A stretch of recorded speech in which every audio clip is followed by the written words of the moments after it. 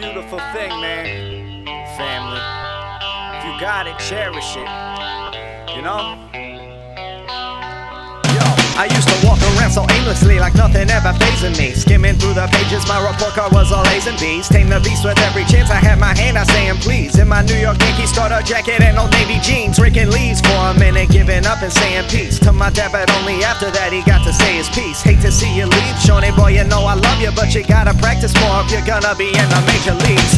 I was eight or nine, I had it all from A to Z. He went everywhere and every time he was taking me. I had it made, you see, feet up on the Major Deegan Expressway in the passenger seat. Occasions like these are just memories now that I should have savored. We've grown apart and not just a little bit, homie, majorly. I didn't realize it just recently it came to me. It's got me up all night tossing and turning the way that I keep wondering where my fortune is gone.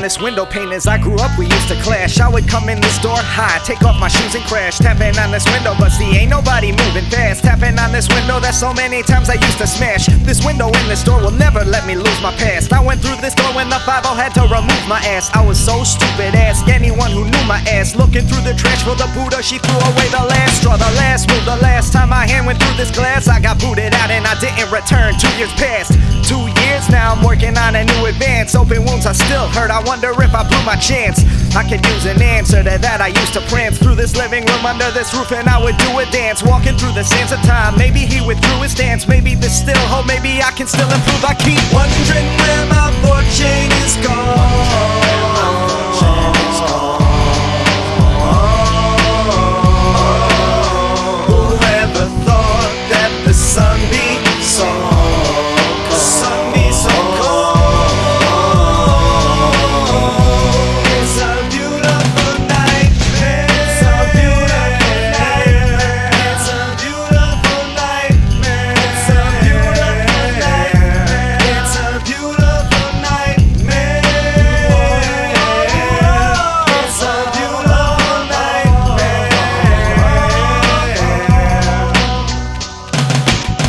Doorknob turns, the door opens wide. The knot in my throat bigger than an oversized sweater. Balled up, gray hair grows above his ears.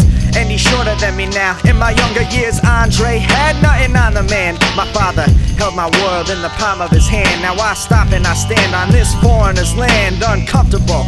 And all I can do now is just wonder, wondering where my fortune is gone.